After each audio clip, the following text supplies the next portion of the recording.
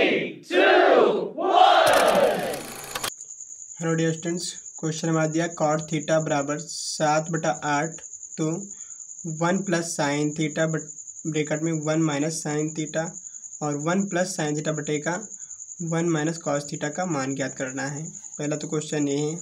दूसरा क्वेश्चन है हमारा कॉट स्क्वायर थीटा का मान ज्ञात करना है। हेलो फ्रेंड्स इसको हम दो विधि से हल कर सकते हैं।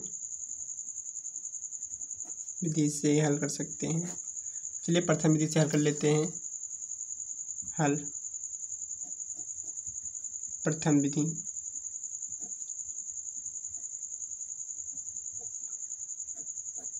प्रथम विधि से हल करने के लिए यहाँ पे क्वेश्चन दिया हुआ है।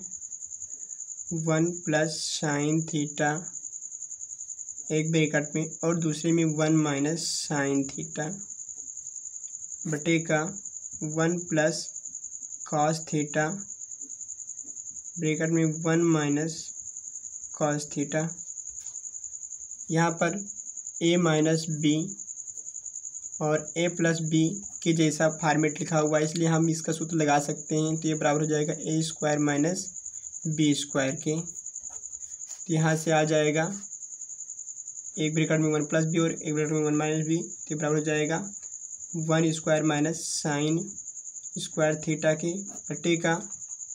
यहाँ से आ जाएगा वन प्लस कॉस थीटा और वन कॉस थीटा से one square minus cos square theta के।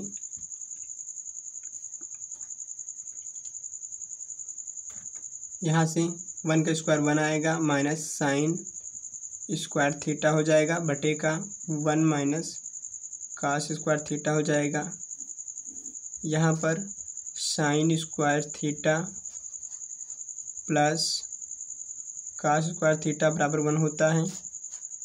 अगर हम साइन को पक्षांतर कर दें वन की ओर तो हो जाएगा कास स्क्वायर थीटा बराबर one minus sine square theta यहाँ पर वन माइनस साइन थीटा की जगह पे हम कास स्क्वायर थीटा रख सकते हैं। यहाँ पर one minus sine sine square theta आया है तो ये बराबर हो जाएगा।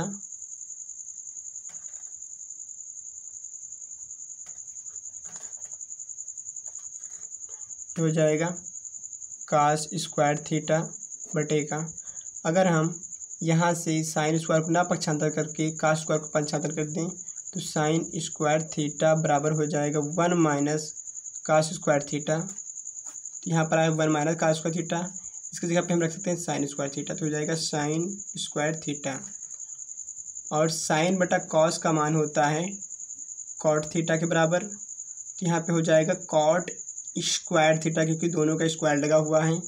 और हमें कॉट थीटा की वैल्यू पहले से दे रखी है, सात बटा आठ। यहाँ से हो जाएगा सात बटा आठ का होल स्क्वायर तो सात का स्क्वायर हो गया उनचास और आठ का स्क्वायर हो जाएगा सिक्सटी फोर ये हो गया। दूसरा हो जाएगा काट स्क्वायर थीटा। दे रखा है दूसरा क्वेश्चन इसको लिख लेते हैं। तो यहाँ से कॉट थीटा की वैल्यू दे रखी है हमें। कॉट थीटा बराबर दे रखा है सात बटा आठ। कॉट स्क्वायर याद करना है, इसलिए हो जाएगा सात बटा आठ का होल स्क्वायर तो कॉट थीटा का मान हो जाएगा सात सत्ता उनचास बटे आठ रहे चौंसठ।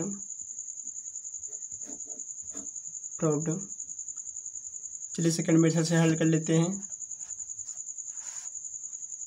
द्वितीय विधि।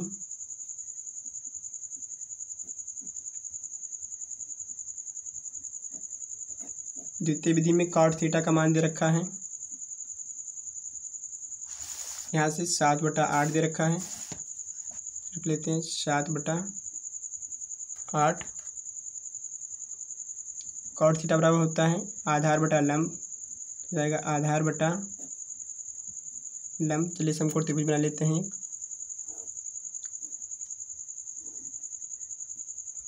ए बी सी यहाँ पे कोड बी, नब्बे अंश का कोड है, इसके सामने की वजह हो जाएगी कर्ड। और यहाँ पर कॉट थीटा लिया गया है। थीटा हम मान लेते हैं सी है तो इसलिए ये हो गया आधार,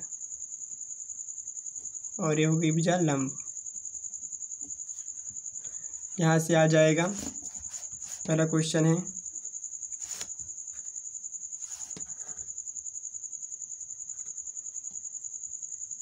यहाँ से आधार का मान सात दे रखा है।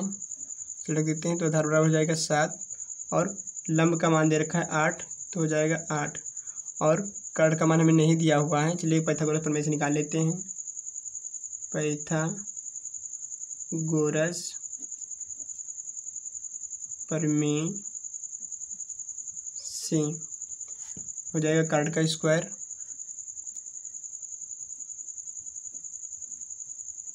बराबर आधार का स्क्वायर प्लस लंब का स्क्वायर। यहाँ पे कर्ण का मान ज्ञात करना है, ए से लेकर सी तक है कर्ण तो हो जाएगा ए सी का स्क्वायर बराबर आधार का मान दिया हुआ है सात तो हो जाएगा सात का स्क्वायर प्लस लंब का मान दिया हुआ आठ तो हो जाएगा आठ का स्क्वायर। तो यहाँ से ए सी स्क्वायर बराबर आ जाएगा, सात का स्क्वायर उनचास प्लस आठ का स्क्वायर चौंसठ, ये बराबर हो जाएगा एक सौ, यहाँ से ए सी स्क्वायर बराबर आ गया एक सौ तेरह। अगर हम ए सी को यदि ए सी का स्क्वायर हटा दें तो हो जाएगा ए सी बराबर अंडर रूट एक सौ तेरह। यहाँ से कर्ण का मान आ गया रूट का एक सौ तेरह। चलिए पहले क्वेश्चन हल कर लेते हैं। पहला क्वेश्चन दे रखा है। One plus sine theta, one minus sine theta, बटे का one plus cos theta, one minus cos theta. पहला क्वेश्चन है। One plus sine theta, bracket में one minus cos, one minus sine theta, बटे का one plus cos theta bracket में one minus cos theta. यहाँ पे हम पहले वैल्यू लिख लेते हैं। यहाँ पे लंब का मान आठ आया है। यहाँ पे लंब का मान आठ आया है, आधार का मान सात और कर्ण का मान अंडर रूट तेरह आया है। लंब का मान आया है सात, आधार का मान आया है आठ और कर्ण का मान आया है अंडर रूट तेरह। चलिए यहाँ पर रख देते हैं तो यहाँ हो जाएगा वन प्लस। शाइन थीटा बराबर होता है लंब बटा कर्ण तो जाएगा सात बटा अंडर रूट तेरह। एक ब्रेकट में दूसरे में हो जाएगा वन माइनस शाइन थीटा का मान सात बटा रूट तेरह बटे का वन प्लस कॉस थीटा का मान होता है आधार बटा कट तो आठ बटा रूट तेरह, आठ बटा रूट एक सौ तेरह, एक ब्रेकट में, और दूसरे में हो जाएगा वन माइनस आठ बटा अंडर रूट तेरह। ये बराबर हो जाएगा। इसके पहले हम ए प्लस बी और ए माइनस बी का सूत्र समझा चुके हैं आपको। ये बराबर होता है A square minus B square के तो यहाँ से वन का स्क्वायर हो जाएगा। माइनस बटा अंडर रूट तेरह का स्क्वायर हो जाएगा क्योंकि यहाँ पे दोनों जगह सेम वैल्यू दी हुई है। अंडर रूट एक सौ तेरह का स्क्वायर बटे का वन का स्क्वायर प्लस माइनस माइनस आठ बटा अंडर रूट तेरह का स्क्वायर। ये बराबर हो जाएगा। वन का स्क्वायर आएगा वन माइनस सात का स्क्वायर उनचास बटे अंडर रूट तेरह का स्क्वायर हो जाएगा एक सौ तेरह बटे का। वन का स्क्वायर हो जाएगा वन माइनस आठ का स्क्वायर सिक्सटी फोर बटे का अंडर रूट एक सौ तेरह का स्क्वायर हो जाएगा एक सौ तेरह। यहाँ से एक सौ तेरह को वन से मल्टीप्लाई कर देंगे तो हो जाएगा एक सौ तेरह माइनस उनचास बटे का एक सौ तेरह। बटेगा बटा एक सौ तेरह माइनस सिक्सटी फोर बटे का एक सौ तेरह। यहाँ पर एक सौ तेरह सबसे ऊपर चला जाएगा और ये एक सौ तेरह नीचे आ जाएगा। ये बराबर हो जाएगा। ये बराबर हो जाएगा। एक सौ तेरह में से उनचास घटाने पे बचेगा।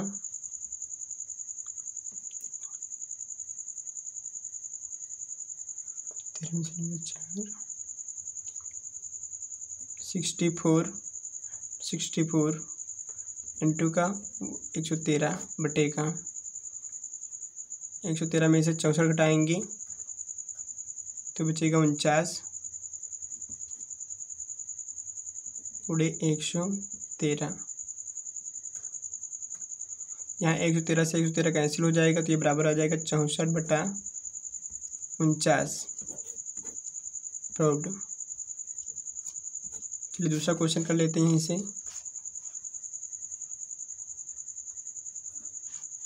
दूसरा दिया कॉट स्क्वायर थीटा तो हो जाएगा। कॉट का मान है cot square theta cot theta बराबर होता है। आधार बटा लंब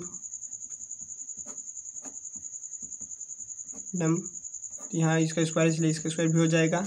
यहाँ से आधार की वैल्यू दी हुई है आठ। तो हो जाएगा आठ बटे लंब की वैल्यू दी हुई है सात। आधार का मान आठ और लंब की वैल्यू दी हुई सात। यहाँ हो जाएगा सात का दोनों का स्क्वायर। तो आठ का स्क्वायर हो जाएगा सिक्सटी फोर, बटे का सात का स्क्वायर हो जाएगा उनचास। Problem thank you.